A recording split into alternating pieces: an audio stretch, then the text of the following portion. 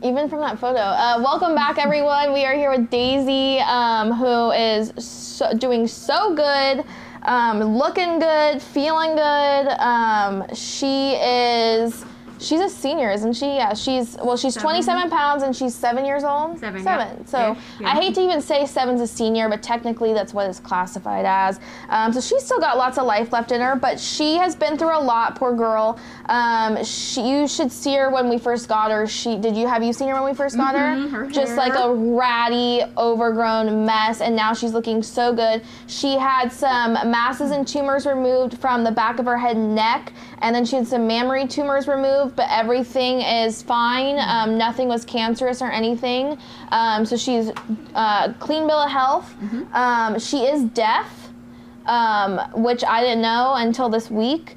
Um, but and we were just saying, I guess that's common with her breed. Um, if they get ear in, they get ear infections pretty easily, and if they're not treated, they can go deaf, um, which is sad and probably what happened to her. But um, other than that, she's great. Um, if you follow us on Instagram, you know that Daisy just likes to chill and nap and lounge and sunbathe. But other than that, tell us how Daisy has been at home. She's great at home. She's very easy because she can't hear. She's quiet. So Yeah, she we bark love at the we love a deaf dog. They don't bark at the DoorDash man delivering your Yeah. food. They don't mar- uh, uh, bark at the mailman. middle of the night. Uh, yeah, she's coyotes in the middle of the night. So Yep, cool. Yeah. Great. She goes for walks. She has enough energy to go for walks, but then we'll come and lay down Yeah. and rest. So she's, Yeah. Cutie.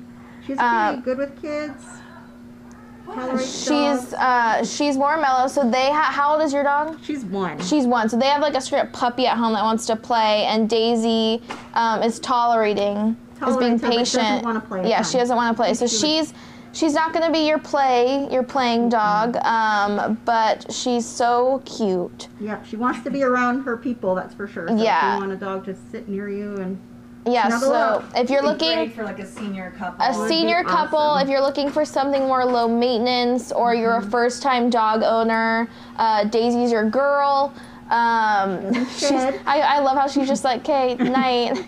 Um, what? Okay, sorry. Uh, so again, she's seven years old. She's 27 pounds. She's good with cats and she's good with dogs. She's good with kids.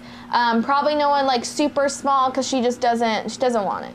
Um, so yeah, so looking for a more chill home. Um, she's low maintenance, easy, um, super awesome. Again, she's healthy. Um, she does have, you can't see it, she does have kind of a gnarly scar on the back of her head, but it's looking so much better. And when her hair grows back in, you'll barely be able to see it. And again, all of those tumors and masses came back as, is it benign? Is that what you say? Yep. Benign. Um, so she's good to go. Um, so please go fill an adoption application for Daisy, thelittlereddog.org. Um, and are we transitioning right into the next one? All right, so sorry to uh, rush you out, but thank you for stopping by. Good to see you.